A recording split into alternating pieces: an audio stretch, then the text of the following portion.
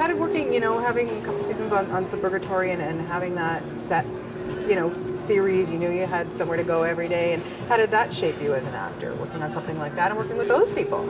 All those people are really great and incredible comedians. Yeah. Something I learned from Chris Parnell, mm-hmm. I mean, I could probably come up with something for everybody. They're all so talented. Chris is really a prepared actor. He's a comedian who's brilliant, and I and I loved knowing that he put a lot of work into his work. He didn't show up to set and just be goofy. He thought a lot about everything, and I think that actually is what makes a really good actor. And what about Cheryl? Cheryl Hines is a dream. Seriously, is the best person to work with. She's so funny.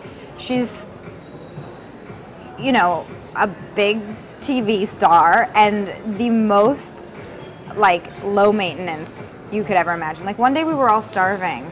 I was like, Cheryl, you should ask someone to get you like a salad. You haven't eaten for. Oh, I can ask to get a salad. Like, and I'm like, I'm gonna ask to get a salad, so I'll tell them to get you a salad too. Like, she wouldn't even ask for anything, and she's so game.